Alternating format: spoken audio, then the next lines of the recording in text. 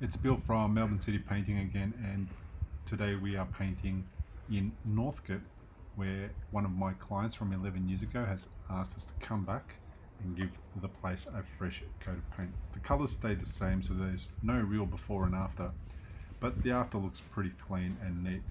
Everything was sanded, and all the gaps and cracks were filled. Some rotten and broken weatherboards uh, were replaced. Also, some broken uh, pickets were replaced. The eaves, the fascia and the gutters were also sanded and prepped. So were all the windows. And then we went about and filled and resanded everything. We removed the downpipes to make sure we accessed the back of the weatherboards really, really well.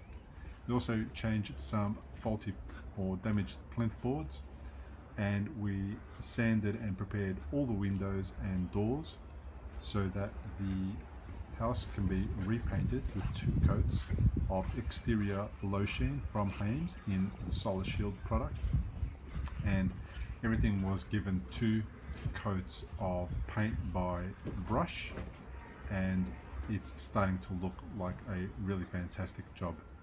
Once again, there isn't a lot to see because the before and after is exactly the same. This client had done a really good job of regularly maintaining their home so that there wasn't a lot of preparation to do. And although the home has been in this condition or has been around for at least 60 or 70 years, it's in really good condition.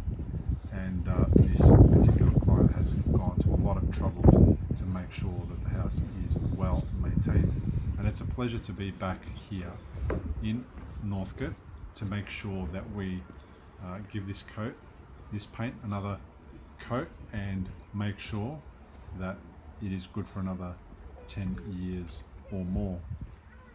All the area that was damaged has been repaired. All the windows are now opening because previously for some reason some of them had stopped uh, opening and closing. We sanded them smooth and made sure that they did not stick after we painted and you can see the places come up just a treat. It's a really classic Victorian home in Northcote and it's looking really sharp and it's a pleasure to be here again.